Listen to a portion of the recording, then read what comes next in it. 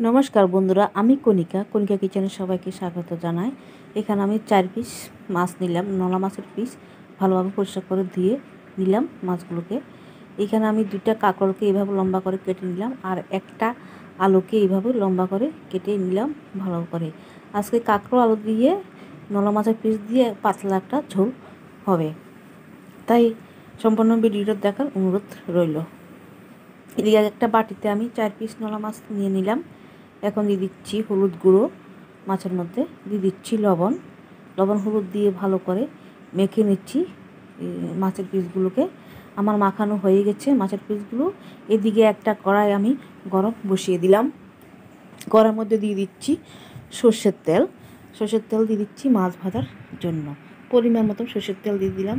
তেলটা ভালো করে গরম করে নিলাম। এখন আমি যে নলা মাছের পিস নিলাম। সেই একে একে নলা মাছের পিসগুলোকে ছেড়ে দিচ্ছি তেলের মধ্যে। নলা মাছের পিসগুলো তেলের মধ্যে ছেড়ে দিলাম। এখন আমি এগুলোকে উল্টে দিচ্ছি। দেখেন আমার এক পাশ ভাজা হয়ে গেছে। আমার দুনো দিক ভাজা হয়ে গেছে। এখন আমি অন্য একটা পাত্রে তুলে নিচ্ছি।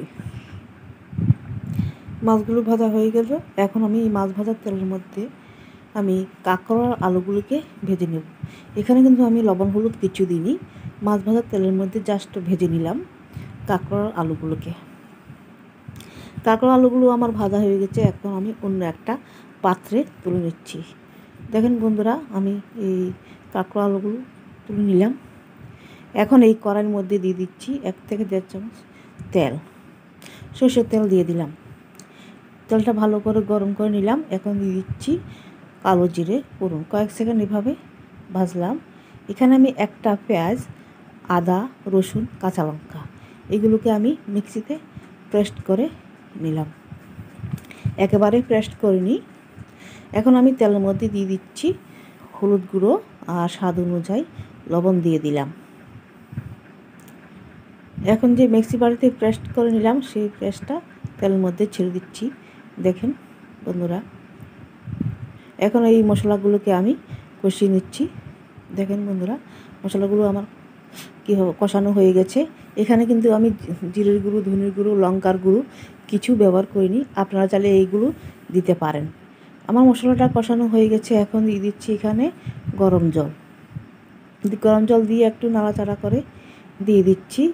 আমার মনে হচ্ছে আরও একটু জল লাগবে, তাই আরও একটু জল দিয়ে দিচ্ছি। কারণ যেহেতু এটা পাতলা ঝোল হবে, তার জন্য আমি আরও একটু জল দিয়ে দিলাম। এবং গ্রেভিটা আমার ফুটে উঠেছে। আরও একটু নাড়াচাড়া করে দিয়ে দিচ্ছি। এখন আমি যে কাঁকড়ো আলু ভেজে নিলাম এই সেই কাঁকড়ো আলুগুলোকে দিয়ে দিচ্ছি এই গ্রেভির মধ্যে। সবগুলো দেওয়া হয়ে গেল। এখন আমি ছয় থেকে সাত মিনিটের জন্য এই কাঁকড়ো আলু ঢাকা দিয়ে সেদ্ধ করে নেব। ছয় থেকে সাত মিনিটের মধ্যে ফিরে এসেছি ফিরে এসে ঢাকাটা তুলে নিলাম। একটু নাড়াচাড়া করে দিয়ে দিচ্ছি। মোটামুটি আমার সবগুলো সিদ্ধ হয়ে গেছে। এখন আমি এই মাছের যে পিসগুলো ভেজে নিলাম, সেই চার পিস মাছ দিয়ে দিলাম। দিয়ে আবারও দুই থেকে তিন মিনিটের জন্য ঢাকা দিয়ে নিচ্ছি। দুই থেকে তিন মিনিটের মধ্যে ফিরে এসেছি। ফিরে এসে ঢাকাটা তুলে নিলাম। একটু নাড়াচাড়া করে দিয়ে দিচ্ছি। দেখিয়ে দিচ্ছি আপনাদেরকে কাঁকড় সিদ্ধ হয়ে গেছে, আলু সিদ্ধ হয়ে গেছে। বন্ধুরা, আমার এই রেসিপিটা যদি ভালো লেগে থাকে, তাহলে অবশ্যই একটা লাইক শেয়ার সাবস্ক্রাইব করবেন। সাবস্ক্রাইব করতে ভুলবেন না। রান্নাটা হয়ে গেছে গ্যাসটা অফ করে দিলাম। আর যারা যারা সাবস্ক্রাইব করেছেন আমাকে, তাদেরকে অসংখ্য অসংখ্য ধন্যবাদ জানাই। আজ আসি, কাল আবার আসব অন্য কোনো নতুন ধরনের রেসিপি